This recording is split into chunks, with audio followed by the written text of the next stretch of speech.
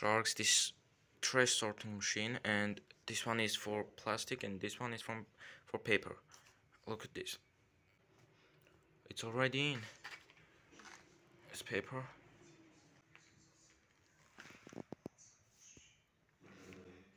Do like videos like this? Let me know in comments.